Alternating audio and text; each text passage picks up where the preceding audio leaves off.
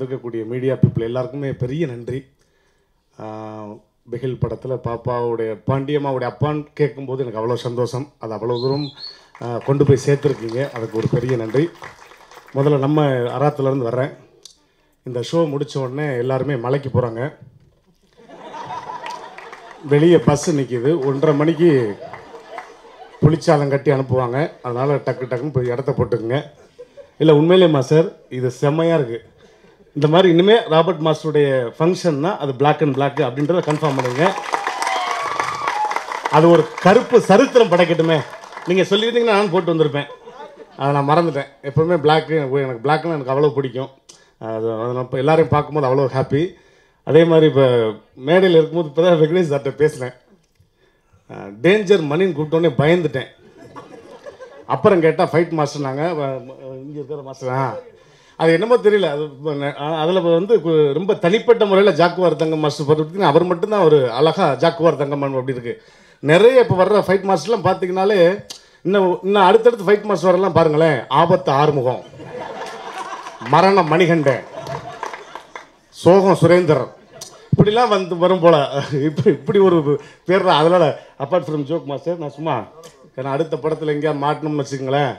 நம்மளை வச்சு செஞ்சு விட்டுறது. அதனால் மேடலுக்கு எல்லாருக்குமே ரொம்ப நன்றி. அதே மாதிரி இப்போ ப்ரொடியூசர் வந்து சொன்னார் படம் பார்க்கும்போது நமக்கு வந்து மூணு விஷயம். ஒன்று வந்து படம் பார்க்கணும் இல்லைன்னா வந்து ட்ரிங்க் பண்ணணும் இல்லைன்னா மெடிடேஷன் நம்ம ஏன் மூணையும் சேர்த்து பண்ணக்கூடாதுங்கிறேன். முதல்ல மெடிடேஷன் பண்ணிடுவோம். ரிலாக்ஸ் பண்ணிட்டு மேன்ஷனுக்கு போவோம். அதுக்கப்புறம் செலிப்ரேஷனுக்கு போவோம். மூணையும் சேர்த்து பண்ணிட்டா பெஸ்ட்டு அதனால் அந்த மாதிரி ரொம்ப அழகாக பேசினார் தயாரிப்பாளர். அப்புறம் மெயினாக வந்து வெங்கடேஷ் சார் எல்லாருமே ரொம்ப க்ளோஸ் உண்மையிலே வந்து தம்பி மகி சொன்ன மாதிரி இங்கே வந்திருக்க எல்லாருமே அவ்வளோ அன்பாக அவ்வளோ தூரம் நட்பு ராபர்ட் மாஸ்டருக்காக தான் வந்திருக்காங்க. அது எனக்கு வந்து ரொம்ப வருஷம் தெரியும். இன்னொன்று என்னென்னா எங்களுக்கெல்லாம் ஒரு பெரிய இன்ஸ்பிரேஷன் ராபர்ட் மாஸ்டர். ஏன்னா குண்டா இருக்கவங்களால வந்து ஆட முடியாது. நீங்கள் யோசிச்சு பாருங்களேன். அவர் வந்து இந்த ஃப்ரேம் வச்சுட்டு சிங்கிள் ஷாட்னாலும் உட்கார எந்திரிக்க தலை நினைக்க பறக்க ஒத்த காலில் ஆட முதல்ல நாலு பேர்த்த அனுப்பு அடுத்த நாலு பேர்த்த உள்ளே வர்றான். எவ்வளோ நேரம்? எங்கள் சாவுக்கு வந்து அப்படி ஒரு பாட்டுலாம் நான் இதுவரை பார்த்ததே இல்லைங்க. சங்கி மங்கி சாங் நீங்கள் பார்த்தீங்கன்னா ஒரு டெத்து ஒரு பாடியை வச்சுக்கிட்டு ஃபுல் பாடி ஆடிருக்கும் அதெல்லாம் அவரால் மட்டும்தான் கோரியோ பண்ண முடியும் சிங்கிள் கோரியோ.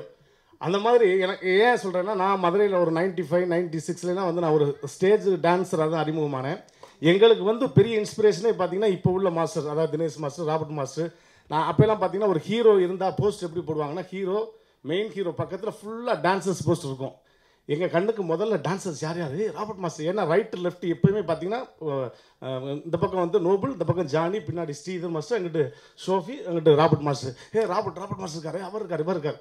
ஏன்னா உண்மையிலே மாஸ்டர் இன்றைக்கும் மதுரையில் வந்து மதுரை ஜானி மதுரை நோபல் மதுரை ராபர்ட்னு நிறைய பேர் வாழ்ந்துக்கிட்டு இருக்கான் டான்ஸில் ஸோ எங்களுக்கெல்லாம் ஒரு மிகப்பெரிய இன்ஸ்பிரேஷன் அதை விட எல்லாருக்குமே குழந்தை நட்சத்திரம் இருந்து நம்ம அவரை பார்க்குறோம். அப்போ இருந்தே அராத்து தான்.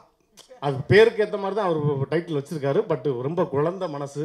பழகிறதுக்கு பழகுறதுக்கு ரொம்ப எளிமையானவர். அதில் அந்த சாங் பார்த்தேன் மாஸ்டர் நாக்காளிக்கு நாலு காலு முக்காலுக்கு முக்காலிக்கு மூணு காலு கொக்காலுக்கு ரெண்டு காலு. நீ தான் எனக்கு மிஸ்டு கால். அடடடா என்ன ஞானமடா. ச்சே. எழுதுனவனுக்கு ஒரு கோயிலை கட்டுங்கடா. ஆ? ஸ்ரீகால் அண்ணன் வெற்றியனா அதை லிரிக்கு ஏற்ற மாதிரி அந்த விஷுவல் பார்த்தேன். அடடடா அப்படி தான் இருக்குது உண்மையிலே அந்த சாங்க்காகவே படத்துக்கு பெரிய மாஸ்டர் நான். அந்த மாதிரி பண்ணியிருக்கீங்க. உங்க சொல்லவே வேண்டாம். எல்லா சாங்குமே அவ்வளோ பெப்பியாக அவ்வளோ பவர்ஃபுல்லாக இருக்குது இந்த படம் வந்து மிகப்பெரிய வெற்றி அடையணும் கண்டிப்பாக மாஸ்டர் உங்கள் மனசு மாதிரி இந்த படத்தில் நடித்த டெக்னீஷியன் இயக்குநர்கள் மற்ற நடிகர்கள் எல்லாருக்குமே ஒரு மிகப்பெரிய வெற்றி படமாக இருக்கணும். கண்டிப்பாக உங்களுடைய வெற்றி படத்துலையும் பிளாக் அண்ட் பிளாக்ல இதை விட ஒரு பெரிய ஹாலில் பிரம்மாண்டமாக கொண்டாடுறோம் ஃபுல்லாக தேங்க்யூ